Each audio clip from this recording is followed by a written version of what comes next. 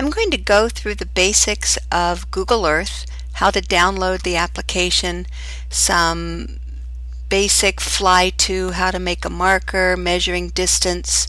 We'll look at the ways to change the geographic coordinate settings in the uh, tools or preferences, then end up with using KML files, which are keyhole markup language uh, files that are part of the, the Google Earth set of tools. So the first thing you're going to want to do is go ahead and download Google Earth.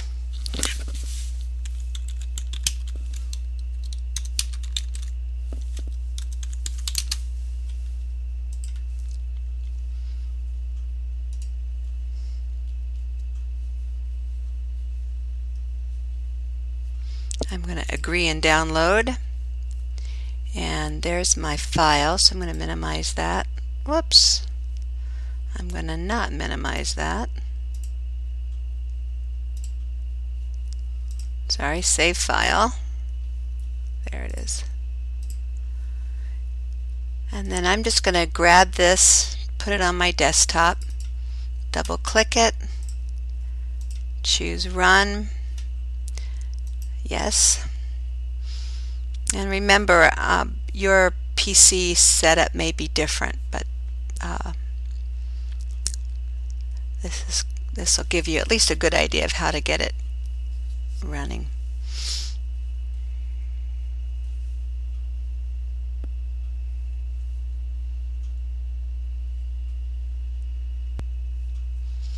Okay, so once uh, Google Earth is installed, go ahead and close my little notepad here.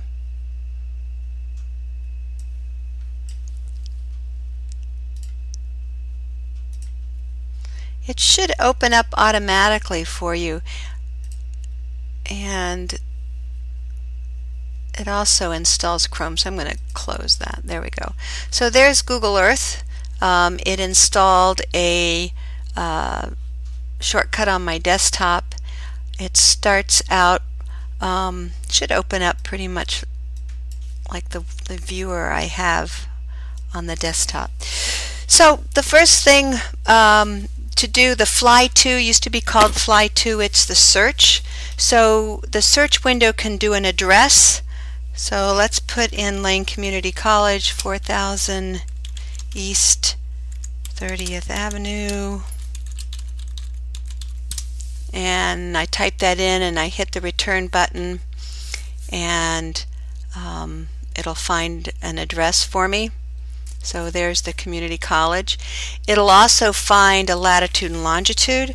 So I'm going to do in decimal degrees uh, 44 point, um, I'm making this up, comma negative 123 point and it knows that those are geographic coordinates and it's going to go find that that location for me so I can type in uh, latitude and longitude easily.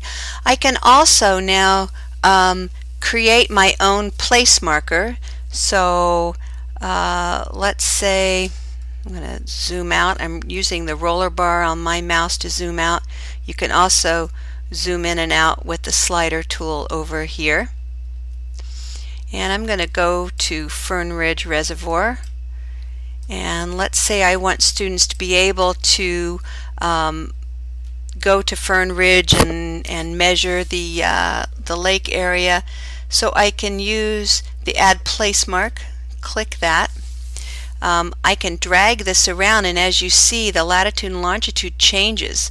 Now this isn't in decimal degrees, this is in degrees, minutes, and seconds. So this will change as I move it around. So there's my place mark and I'm going to actually put a title on here.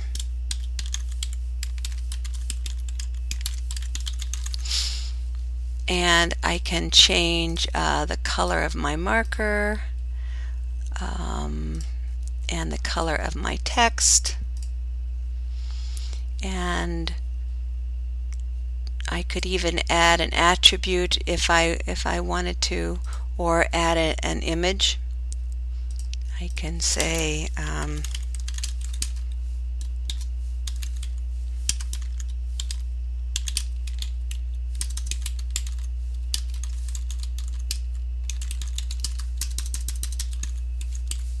and choose OK. And then this becomes um, a more permanent bookmark. So here it's the Fern Ridge Center. I click this. Um, I can get my my description was added into this and I have that now on my map. So let's say um, that's something from an older version I want to remove. Let's say I want to send that to an instructor or send that to a student. I can right click this and save place as and choose KML and uh, this is actually just going to go to my desktop folder but I could put that uh, in my class uh,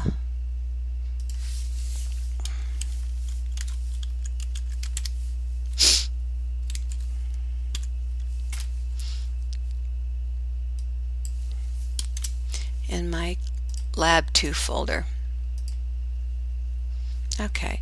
So now if I close out of Google Earth. And I open up that folder.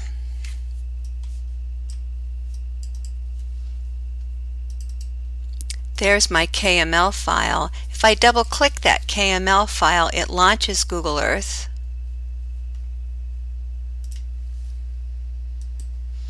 And it will zoom in uh, to that KML that I just input.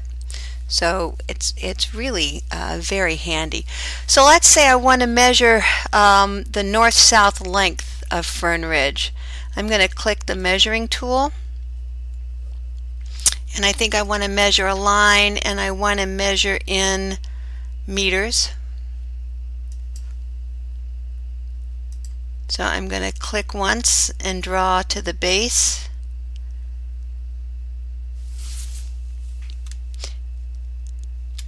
and click and that will end my line and it gives me um, the heading.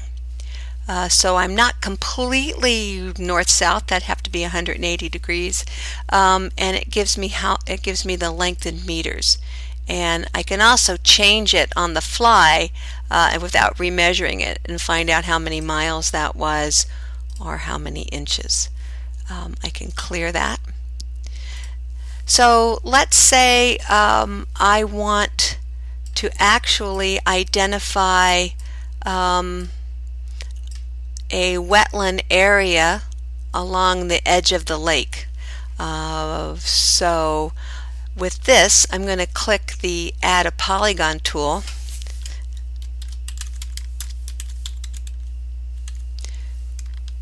and I'm going to call this the west riparian.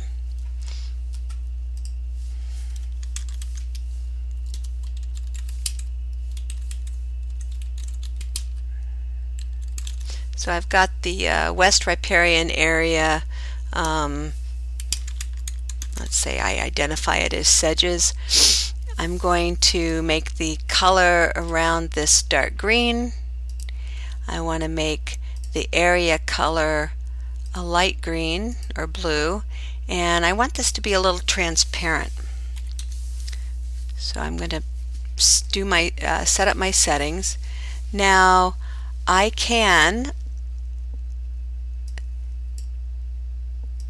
begin to hold my left mouse down and then trace around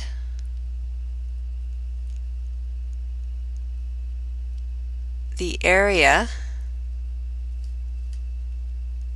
that I'm identifying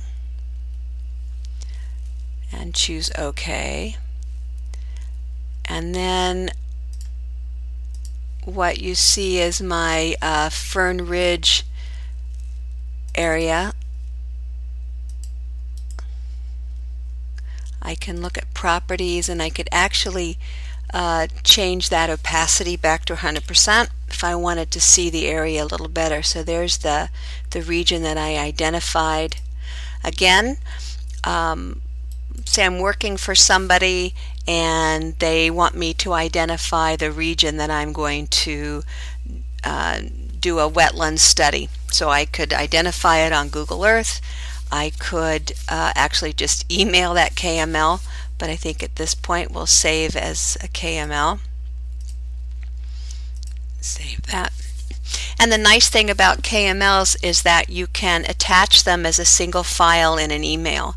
Um, so it attaches just like a Word document. So now I have both uh, the center of the lake and I have a, a riparian area uh, that I can measure. The final thing I want to show you in Google Earth is uh, under the Tools, Options. So sometimes I want my latitude and longitude coordinates to be in decimal degrees. Uh, I might also want them in degrees decimal minutes. And so let's look at a couple different options. If I put this in decimal degrees and I put a pinpoint, there's my decimal degree option. If I choose my tools options and put choose decimal or degree decimal minutes, let's put another place marker here. There is a degree with decimal minutes. And the option also is degrees, minutes, and seconds, which people are very familiar with uh, working with. Okay.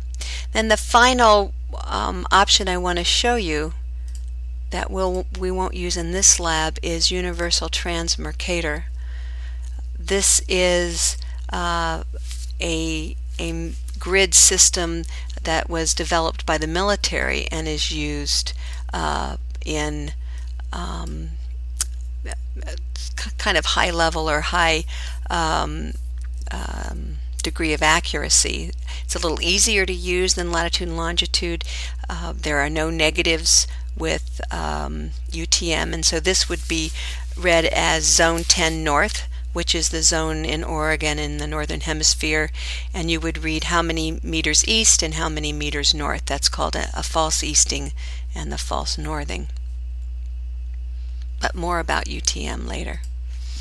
Okay, so we learned how to download, how to use the search or the fly to, how to use place markers, distance measuring, uh, change the settings, and use a KML.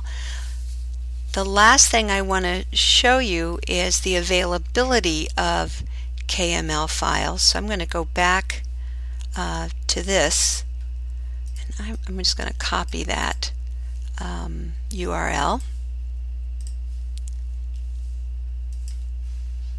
Launch Google. Or yeah. Launch Mozilla. And paste that site in here.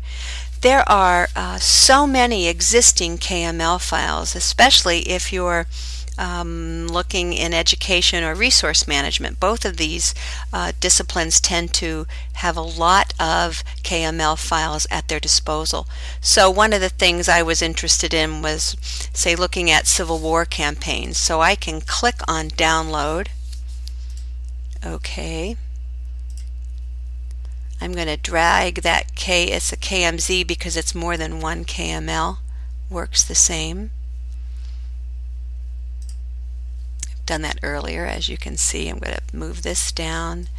And if I double click this it actually adds those files to my site.